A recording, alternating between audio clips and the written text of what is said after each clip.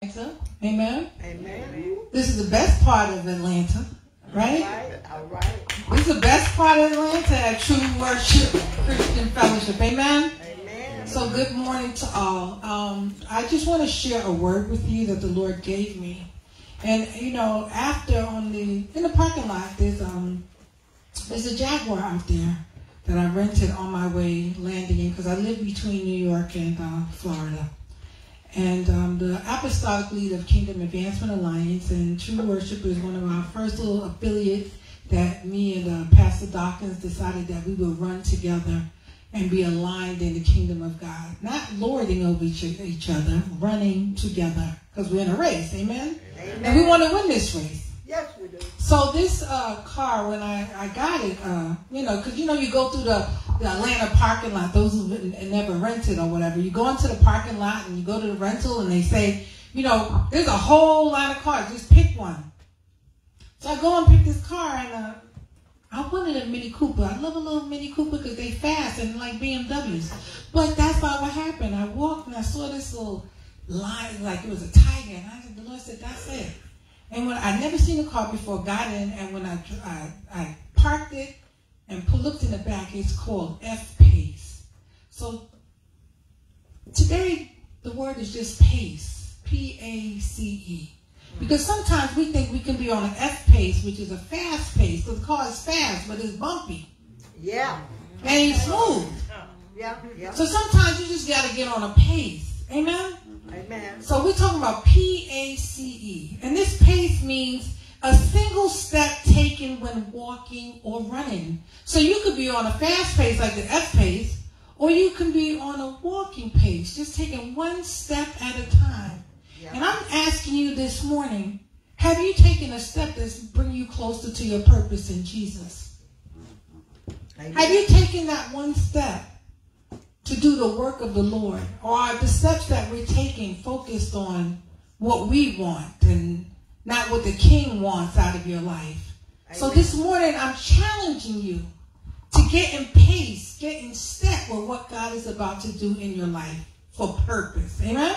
Yes. So let's go to the scripture. And the scripture, I'm reading it in NLT, and it's Hebrews 12, verses 1, and it's 1b and 2a. And it's, it's a familiar scripture to those who uh, have been reading, and it just says, And let us run with endurance the race God has set before us. Not alone, not the pastor alone, not the first lady alone, but it says, Let us run with endurance the race God has set before us. It's a group. So are we running as a group at True Worship? I'm encouraging you. This is your time. This is your moment to run together, to follow the vision. They read the vision, they read the mission, but it's time to get in pace. It's time to get in step, to run together as a group. Amen? And, you know, Pastor's back there, and it's time for him. I love it. He's sitting down. Hallelujah. Because in that race, that us may mean that Pastor may have to sit back on some things. Amen. So he's he's probably behind me smiling. but there's some things that now as a leader that we have to put down. And I'll share a little bit of why I'm sharing it this way. The other portion of the scripture says, we do this by keeping our eyes on Jesus. There's no other place. Where are your eyes? All right. All right. Where are your eyes? What are you looking at? Be careful what you're looking at. You know you got your phone. Come on. What are you looking at? It says, and let us run with endurance the race that God has set before us. We do this by keeping our eyes on Jesus. Amen. So the focus now has to be if you're going to be in this race and you're going to run at a steady pace, and your eyes have to be on Jesus. It can't be on your phone. It can't be on Netflix all day. Amen. It can't be on social media all day. Amen. All right. All right. Instagram is not your testimony. So you're going to have to spend time with the Word. Because how do you keep your eyes on Jesus? You're going to have to read this Word. You're going to have to drink this Word. You're going to stare at it. You're going to listen to it. You're going to download the Bible app, YouVersion. And even if you can't read it, you're going to listen to it because faith comes by hearing and hearing by the Word of God. And how are you going to be transformed? How are you going to be changed unless receive his word because it cuts. It goes in one way and then it takes out the stuff that you don't need because there's things that we're doing and things that we're saying that we don't want to do and it slows down our pace to run the race. Yeah. I would love to do a marathon, but I got a few pounds to lose. Amen. Hallelujah. Thank you, God. You can do miracles at any time, right? Amen. You could do that. You you party seeds. You could just take some weight off. But what do you learn in the process if you just take it away? Nothing. So you got to study yourself to learn some things about yourself and say, God, I want to be more like you. I want to be more like Christ. And if you want to do that, then it's going to take a little slice. Mm-hmm. He's going to take a little part of you, the thing that you love the most. He's going to take it away so he can strip you and rebuild you in the person that you're called to be. We're talking about running a race at the right pace. And you can't pay attention to what everyone else is doing. Yes. You can't look at their testimony and their blessing and be focused on that. You got to focus on your race at your pace. There's many ways to get to the airport. You could take an Uber, you could ride a bike, you could walk. It doesn't matter when you get there. The goal is to get there. Amen. Don't focus on your time frame. Right. Mm. Right. Focus on his name, and his name is Jesus. Amen. So we're talking about a pace. Amen. So, uh, you know, the Lord, He always gives me acronyms a lot to teach with. And PACE, that P means a plan. And, oh, hallelujah. Proverbs 16.3 says, commit your actions to the Lord and your plans will succeed. You got to put a word on everything that you're expecting in your life. If you're having issues with finances, put a word on it. All right. If you need a car, put a word on it. If you need a house, put a word on it. Put the word out, and His word does not return void. You, sometimes you put your work on it instead of your word on it. Come on now. Then you pass out and you still get no benefit. So I'm saying put the word on things in Jesus' name. The word is out. His name is Jesus, Lily of the Valley. His name is Jesus, Bright and Morning Star. His name is Jesus, King of Kings. His name is Jesus, Lord of Lords. His name is Jesus, Mighty God. His name is Jesus, Prince of Peace. Put a word on it in Jesus' name. And watch him. Just allow him to do some of the work. Put the word out there and stop working so hard. Who's doing two jobs? Who needed Put your hand down with the red. You have to show yourself up. You're doing good, right? You're doing good. You just put it out there. You have to put some more word on it so you can do one. Sometimes we work so hard we have no time to spend with the Lord. So then he can't do anything for us because you're busy trying to do it yourself. We're talking about a pace to run a race. And you cannot run the race without relationship. Right. It's very nice to accept Jesus Christ as Lord and Savior. Wonderful. But you got to walk out a relationship. It's like dating somebody. We got, we got a testimony. He said he got a ring and he got a suit, but he can't do anything with unless he find a woman. Correct? So what what are we talking about? He's looking for a relationship. And what do you think Jesus is looking for? Relationship. So that's been part of his plan all along. That's right. What does the Father do? He sent his son to reconnect us because he wants relationship with you. So you can't shut the relationship trying to do 16 hours a day and it's still not covering what you need. Amen. So we're talking about a pace to run a race of endurance. Amen? Amen. So the plan is to commit your action to the Lord and your plans will succeed. Give it over to him. So let him be the successor. Let, let him get the glory for everything that's going on. Amen. Not you look what I did for myself. No, no, no, no, no. Then you missed it. We thank you, Lord, you're doing and blessing us with. Amen. We're talking about pace. Now that A is to activate. Mm, that's a that's a rough word. Who here procrastinates? Don't put your hand up all. Mm, mm. Procrastination, right? All right. All right, Proverbs 13:4 NLT says, "Lazy people want much but get little." Woo! But those who work hard will prosper. I ain't saying the word said it. You put your hand up. I ain't telling you to. So this pace out of getting this plan, you got to be activated. You can't just, you know, this this season is no longer I just come to church and get a word and leave. You just come come to here looking to do. Come here saying, is this something sweet? Can, is this something that I need to prepare? Don't come in late. Amen. Come on. and leave early. Assessing. That A is not for an assessment. It's an activation we're talking about. Let me assess what's going on. Let me see if I fit. No. Jesus died for you. He died for me. But the activation plan is individual. So you're going to ask the Lord, I don't want to be lazy. I don't procrastinate. What do you want me to have? What do you have for me to do? Amen. And do that. If it's sweep, clean the bathrooms. If it's to help with community outreach. If it's to check on a pastor, check on first lady, whatever it is, just check. You don't think they tired? Saying good now. You don't think so? I was here yesterday and I watched a man cook 200 hamburgers. And uh, I'm, you know, I'm talking from my own experience because, you know, I have ministries up in New York and in Florida, and sometimes as leaders, and this is going to help us all. Sometimes as leaders, we don't realize when it's time to take our hand off of the plow. Amen.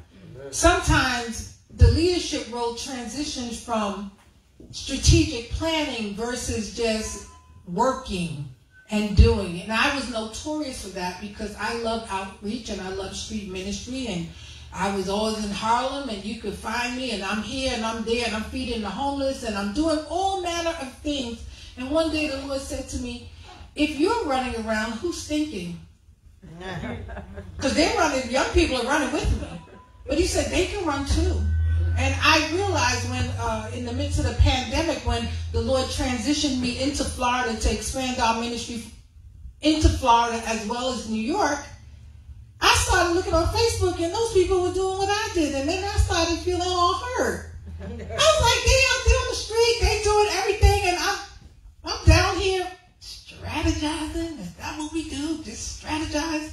But sometimes if there's no vision, you don't get provision. Amen. So the leaders now have to take the helm and the workers need to get on board. So I'm encouraging to be activated. And you're going to have to, you know, I'm speaking it out to pastor that there's going to be much more activity in his brain than in, in his hands. Amen?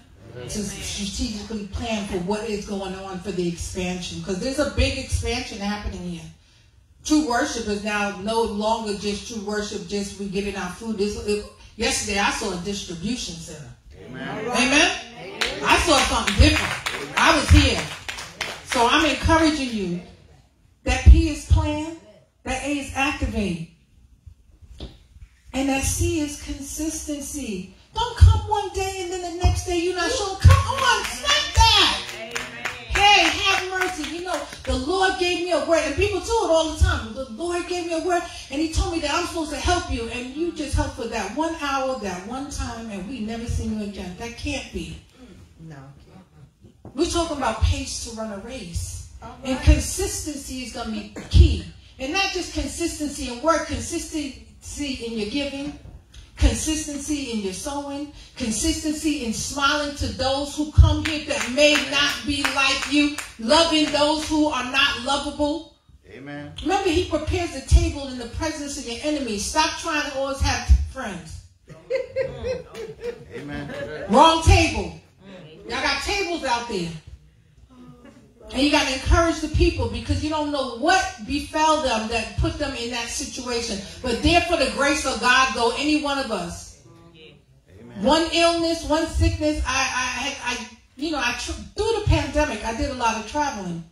You know, the, as the Holy Spirit led. Don't do stuff that you know the Lord didn't tell you to do. Amen. And I was uh, interviewing throughout Texas and Colorado and different places homelessness. I was interviewing the, those who were homeless. And I realized you got to find out what happened to people. One lady said her husband, he passed away. And down in Florida, uh, he passed away in the return of children. And uh, she didn't have any money and she didn't have a job. She was a stay-at-home mom. They lost the house so they couldn't pay the taxes. And she's out on the street and I'm giving her food and I'm giving her, because Florida in February this past year got cold. We were giving out sleeping bags because they live in the woods, right? But then there's other, other people I met who said, I've been out here for seven years and I don't like responsibility. Be careful. Watch who you're talking to. Because sometimes you're trying to push a, a place on a person that don't want to live. They don't want responsibility. So I realized some things that to be consistent, to be persistent, you got to almost ask, ask the people, what do you need? Mm-hmm. Because you're there trying to give them food and they don't want that. They just need a Metro card. So ask people, just because people are homeless and, and, and may not have what you have, they still have rights. And guess what I decided? That those that are uh, living on the streets and out on the streets, this is their home and I'm a guest on it. Amen. That's the position. When I go in my house, then that's my house. But when I come on the street and you're out there, I'm a guest in your home because this is where you live. Because you know you could get jacked up if you sit on the wrong bench. Okay. No, they, they, they mark territory. But you care about them because they're your brothers and sisters in Christ. They're coming, they're coming, they're coming. So you got to love them with an unconditional love. Amen. Are we consistent in loving? Because we talk about pace to run a race. We can plan, we can activate, but if we're not consistent, you're still out of the race is still not complete. That's right. The consistency scripture is 1 Corinthians 15 58.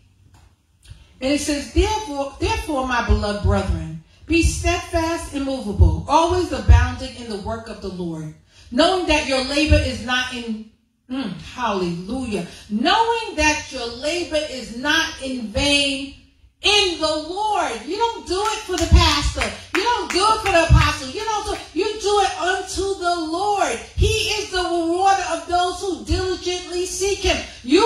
the work as unto him, not as unto man. Suppose somebody will say hi to you, you're gonna be upset you ain't coming back no more. I seen it. yeah. You know, pastor ain't say hi. I ain't see you. I have my glasses on. I'm sorry. Like you don't know. Right. Something else was on my mind. Yes. You're not being ignored. But if you come working unto the Lord, you don't need nobody to pat you on your back because you know his eyes move to and fro. You know that he sees you when you're sleeping. You know he doesn't slumber or see. You don't have to worry about that. But be consistent in the thing that he's given you to do. Be steadfast. Amen. Be immovable. Amen. So you got to plan. You got to activate. You got consistency, right? Yeah. And that E, that last thing, you got to encourage one another. Yes. Come on, encourage one another. You know how it's not easy to be a Christian in this season. But was Christ's job easy? Do y'all want ease? Or do you want to please? Please him. 1 Peter 5, 10 and verses 12 to 14 as well in NLT, it says, In his kindness, God called you to share in his eternal glory by means of Christ Jesus. So after you have suffered a little while, he will restore, support, and strengthen you, and he will place you on a firm foundation. I have written and sent this short letter to you with the help of Silas, whom I commend to you as a faithful brother. And I commend my brother Cliff Dawkins as a faithful brother. Amen. Amen. It says, My purpose in writing is to encourage you and assure you that what you are experiencing is truly part of God's grace for you. The last time I, I spoke here was June 28th. And at that time, it's a little bit, a little less than six months. Right before I preached, my son had called me here, and, and he had, was in a car accident, fractured his neck. And he called me and he said, Mom, I'm just letting you know what happened. And I'm getting ready, like I'm getting ready to grab the mic. And that was a call. I said, What are we doing here, Lord? And you know what he said? Mom, keep doing what you're called to do. I'll be fine. Amen. Amen. And I said, and I, I, I, I got up here and I gave us a brief testimony. And of course, he completely is healed. Amen. No issue, no circumstance. But you know what the Lord told me? He said, if you had stopped what you were supposed to do and not do your assignment, you're not fit for the kingdom. Amen.